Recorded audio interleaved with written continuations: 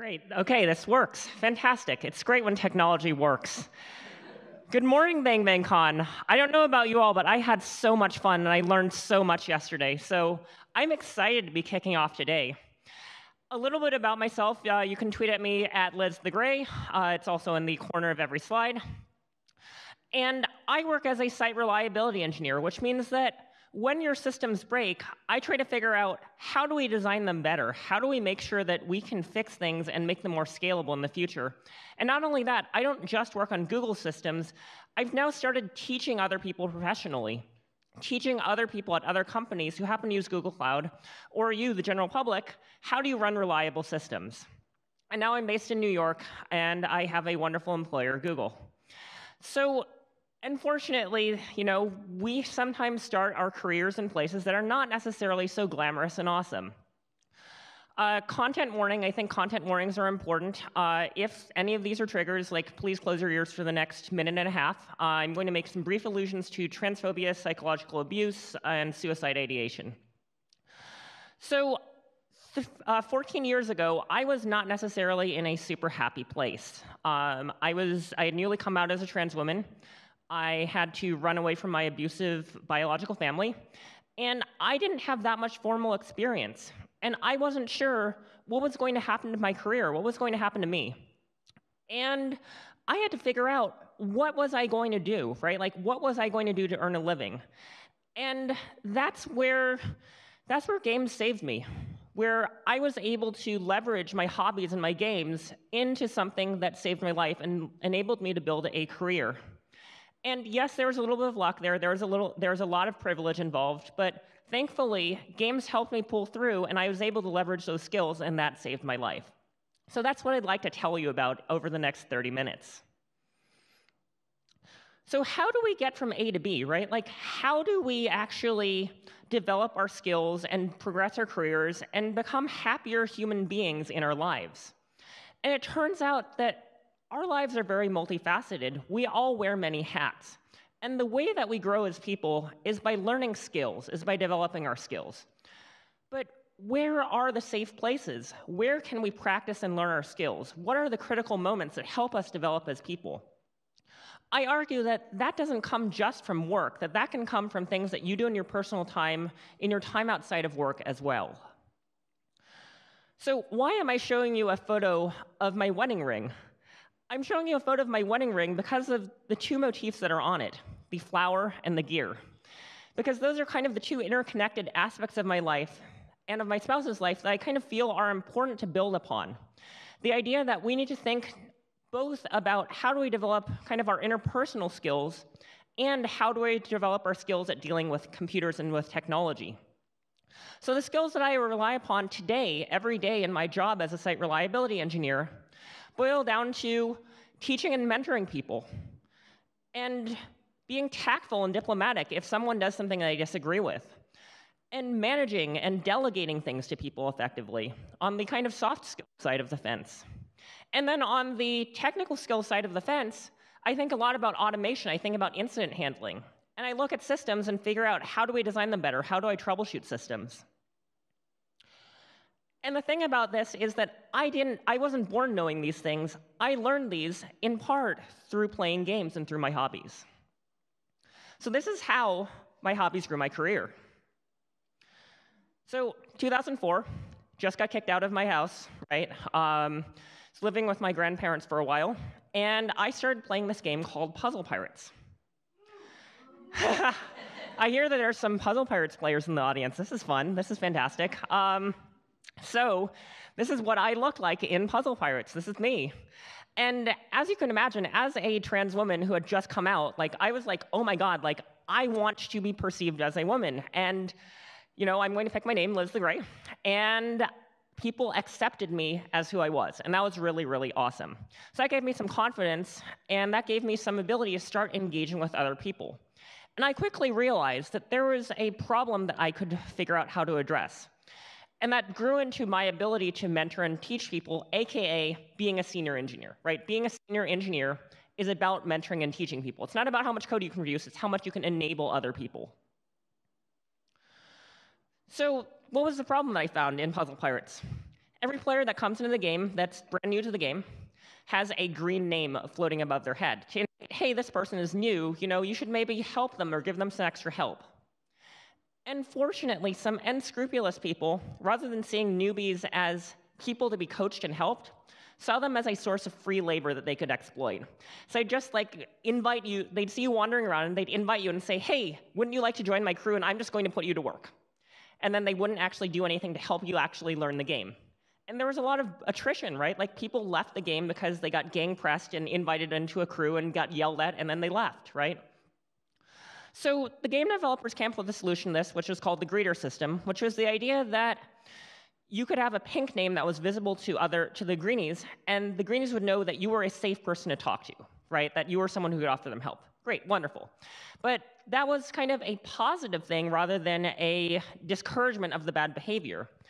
And it turned out that the people that were engaging with the bad behavior still were doing it. So I resolved two things. You know, one, I was going to work the social puzzle. Uh, puzzle Pirates is about playing a whole bunch of intricate little puzzle games, but there's also the kind of meta puzzle above it, the social puzzle of influence and talking to people. So I resolved I was going to play the social puzzle. I was going to try to influence some of these people and try to persuade them to stop doing this behavior. I was going to try to become a greeter myself to model what good behavior looked like. And I started giving out rewards to people to say, hey, if you're a new player, why don't you nominate someone who did something awesome for you, and I'll go ahead and give you a special trophy, right? And that worked fairly well. Like people started doing more good behavior, but it still didn't eliminate the bad behavior. So at the end of the day, what I wound up doing was I decided I was going to PvP every single bad group that was engaging in this gang pressing behavior. It was a little bit controversial at the time. But that's kind of how I started getting my feet wet with, uh, with teaching and mentoring people, was by being new to game, building up the skills, and then teaching other people and teaching other people to be better teachers. Here's another skill that I rely upon day to day. I'm a person who organizes movements. I believe very firmly in the power of grassroots organizing. And I've used that to sometimes my employer's chagrin, but I think that it's to the benefit of Google's users and to Google in the long term. And Puzzle Pirates taught me how to organize large numbers of people. How did it do that? Well, in Puzzle Pirates, you can own an individual island. And how do you own the island? Well, you have to declare war and blockade the island and fight the person who currently owns the island. So that requires, over the course of an entire day or two days, contesting flags that are placed in the, in the ocean. So if there are two ships that are of opposing sides, then no one owns the flag. But if you're sitting there, king of the hill, at king or queen or uh, monarch of the hill, then you are earning points for your side. But the problem is that this requires ships, lots and lots and lots of ships. And you need to have each single ship have a crew of maybe 10 or 15 or 20 people uh, working puzzles on it. So this is starting to look a lot like the structure of a company, right? Or the structure of, move, of movement, because you've got a whole bunch of teams, you've got people coordinating the teams, you've got people coordinating the coordinators. And also, you have to figure out how do you build the resources to keep everyone happy? How do you pay people? How do you actually measure people's performance? You know, make sure that they're sabotaging your effort, right? So I learned a whole lot from distributing booty to pirates who were, who were like, yar, right? and, and that taught me a lot about like, how do you do kind of semi-hierarchical organizing? How do you motivate people? How do you get people moving in the same direction, not shooting at each other with friendly fire, right? Like, that's a critical skill that I learned that way. And then finally, this, this is the thing that directly got me that job, that first tech job. I started volunteering to do technical support. I learned how to debug problems. So the technical support forum of Puzzle Pirates was not really well monitored by the developers, and I saw a gap. And I said, look, you know what? I'm going to collect similar reports, and I'm going to ask people, like, hey, you know, please give me more detail on this. Show me your logs. Like, let's figure out what's going on. And over time, I started doing more and more sophisticated things. Like I started writing tooling to actually collect data automatically from people's logs, or documenting the known issues in a wiki, and producing workarounds. And those skills are the thing that got me a, a tech job working for the makers of Puzzle Pirates.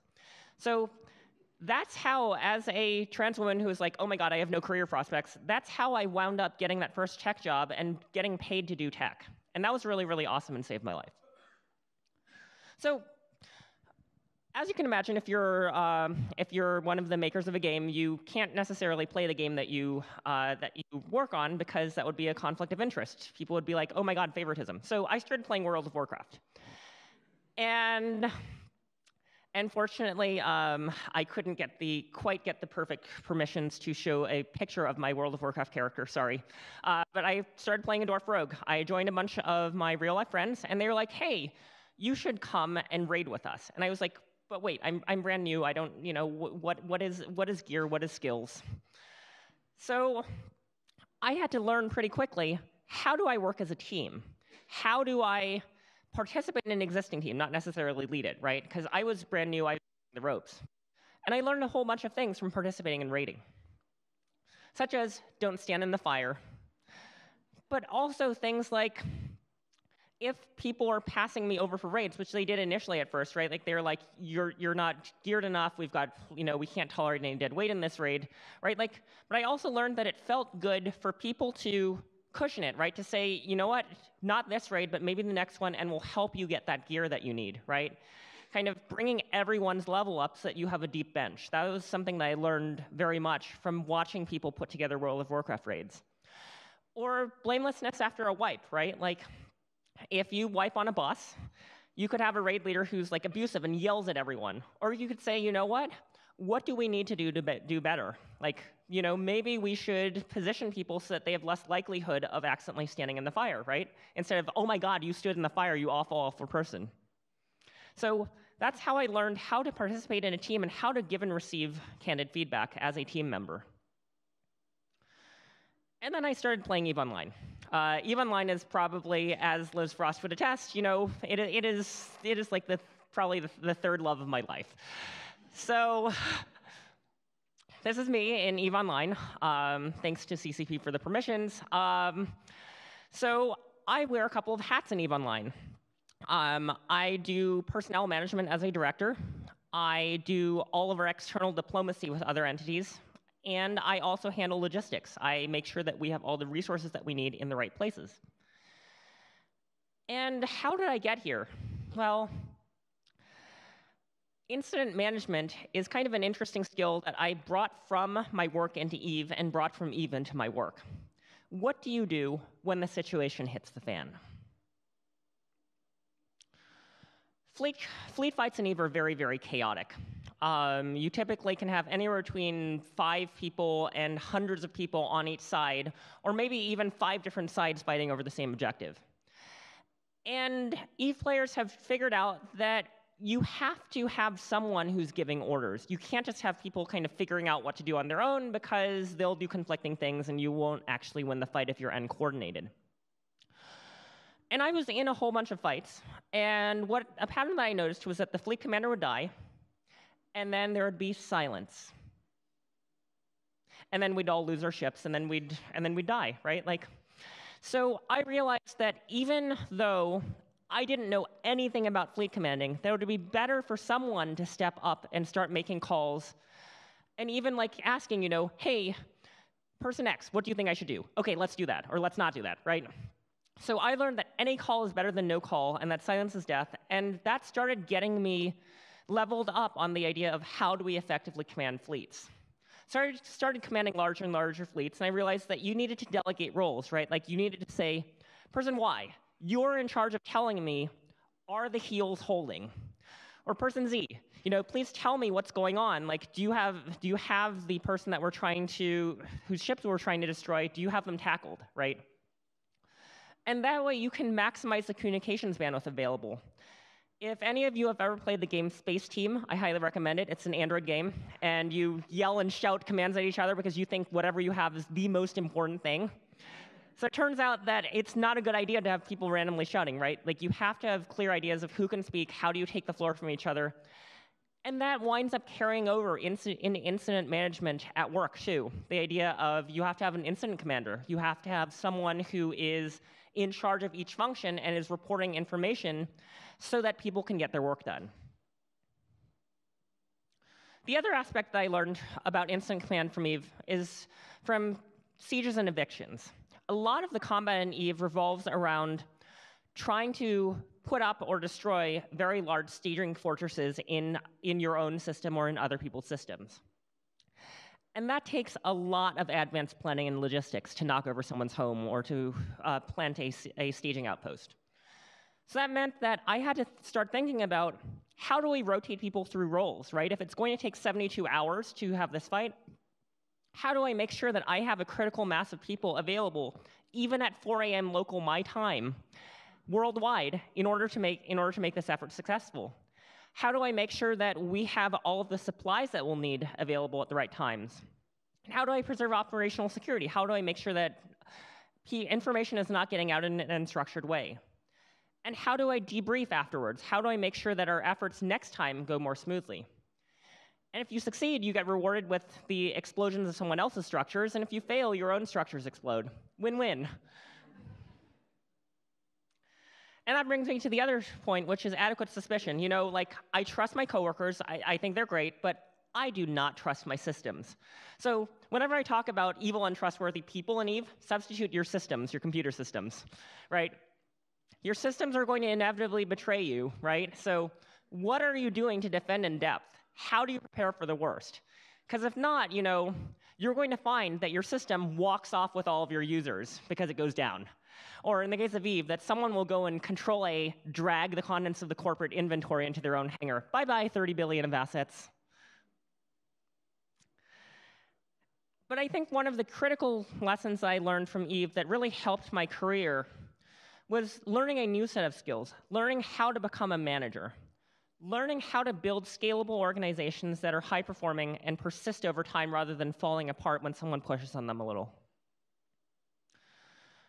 So, when I started playing Eve, I started playing Eve with a group of 20 coworkers, people that I knew from Google. And we trusted each other, we liked each other. Sure, we had some interpersonal disagreements, but one of the main challenges I found was when we joined an alliance, when we joined a group of 150 people who were complete strangers to each other. And how did we build the group of people into a cohesive team that stuck together?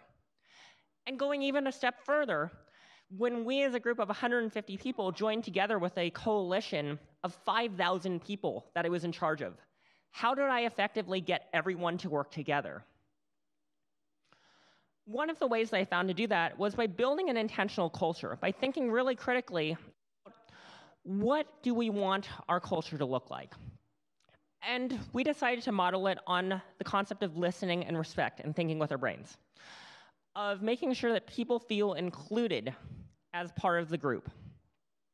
And part of that meant that we couldn't tolerate people who were rock stars for two reasons. First of all, if you have a rock star who starts doing all of the work, then other people stop doing the work, and then eventually that person will leave you, and then you'll find you have a gap, right? So it's much better to build a resilient, redundant organization rather than have a single rock star holding everything up.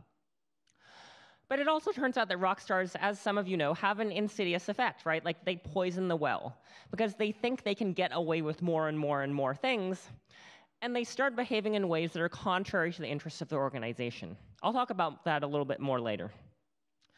The other thing that I learned was how to effectively delegate to people, right? How to not micromanage people. How to give people the tools they need to succeed at doing something so that I can walk away and trust that it'll get done or that it'll get done close enough to good that I can, that I can rely on the result.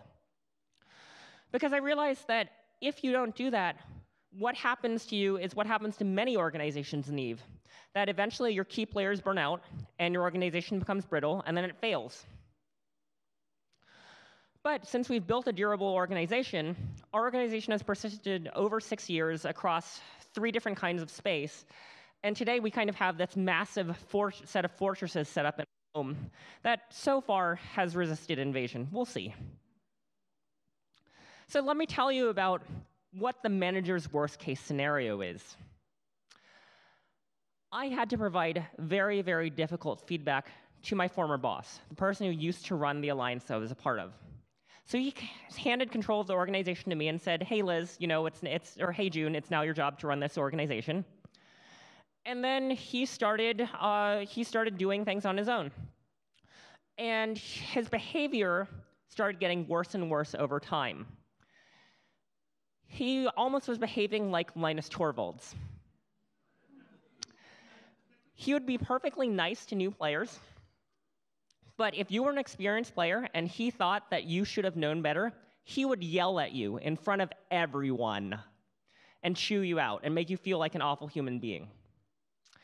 And I had to explain to him, you know, gently at first, you know, hey, when you yell at people in front of the newbies, you make the newbies afraid that you're going to yell at them, even though you, you know that you're not going to yell at them. And that makes them feel unwelcome, right? Situation, behavior, impact. But unfortunately, that didn't work. And, well, he and, uh, he and the organization had to go separate ways. So, firing your former boss.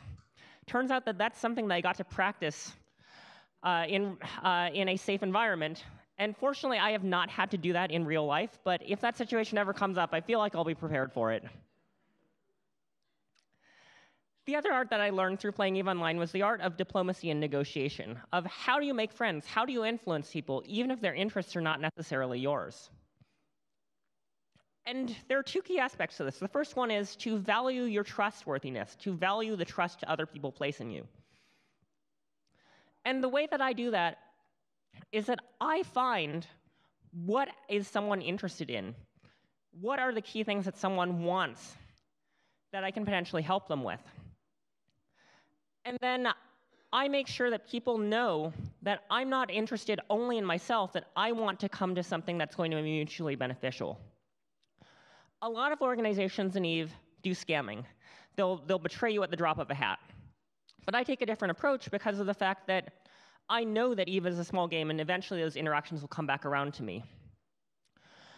And this wound up uh, leaving me in a good situation about a year ago about a year ago, we were in the course of, knocking, course of knocking over someone else's sandcastle, destroying all of their assets. We got to the final timer, uh, the final timer in which, before which their structure would be destroyed. And they approached me and they said, June, or Liz, uh, we're interested in joining you. We've looked up to you for a while, and we think we're really proud that you picked us as an adversary. And I could have gone on and destroyed their structures, I could have, you know, said, sure, we'll accept you into our organization and then steal all of their stuff, but that's not what I did. They had the trust to come to me and say, you know what, we want to join you, and trust us not to backstab them. And I gave them a certain amount of trust. Like, I accepted them into my organization as members. And it's now a year later, and they're some of our most loyal and dedicated members and most active members.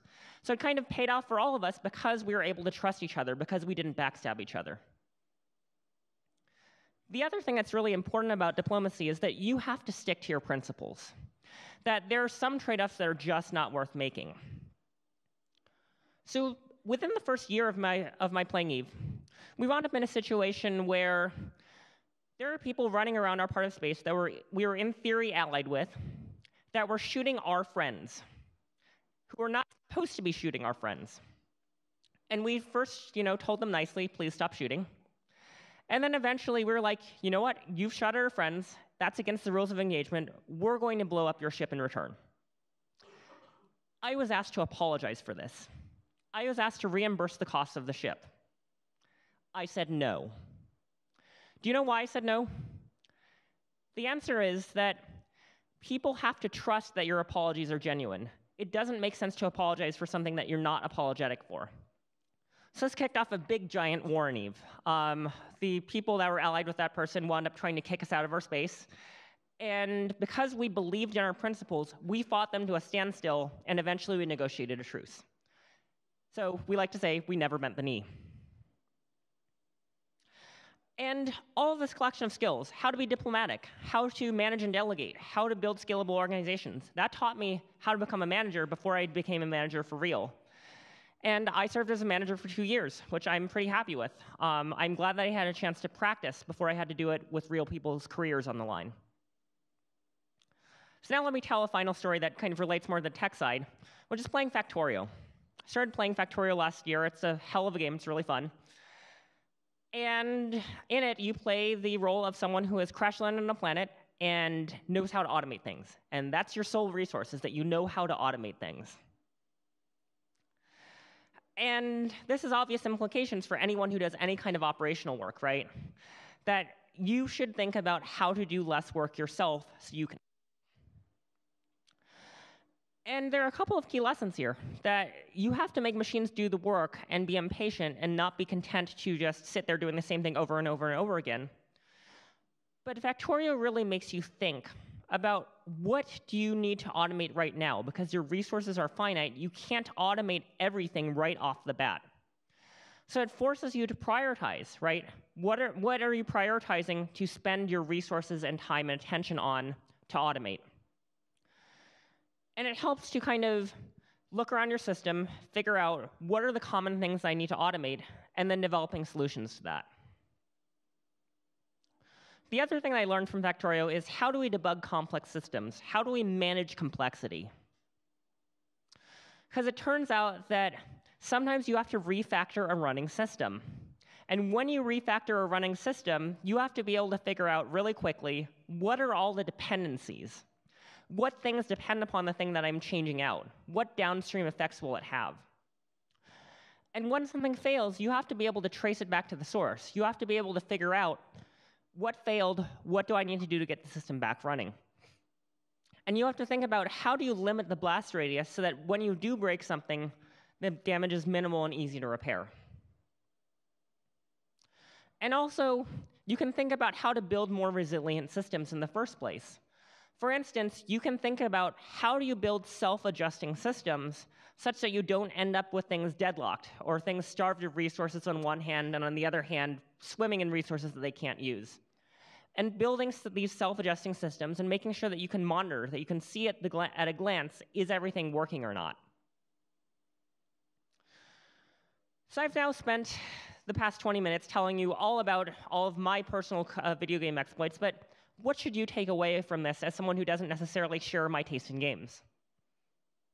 I think the first important thing that you need to figure out is what things do you want to learn? Not necessarily for work, it could be for personal growth as well, but what things do you want to learn? What are you interested in? And what does your next project of whatever kind require? And then you have to figure out, you know, who can you learn from? What resources do you have available for you? Be intentional with your time. Sometimes it's, you know, it's, it's great to do self-care and play a mindless game of Connect 4, right? But if you're looking to grow yourself, you have to be careful with your attention and think about doing things that actually help you towards your goals. And if you fail, that's okay, right? Like that teaches you a lesson that maybe you need to do some intermediate steps, or maybe you need, or maybe the thing you're interested in learning is actually something else. That's okay. And once you've acquired those skills, how do you actually leverage them, for instance, to make your career more successful? One way to do that is to volunteer for things, right? Take those stretch assignments because you, you know that you have the backing of the skills you've learned elsewhere to help you succeed in them.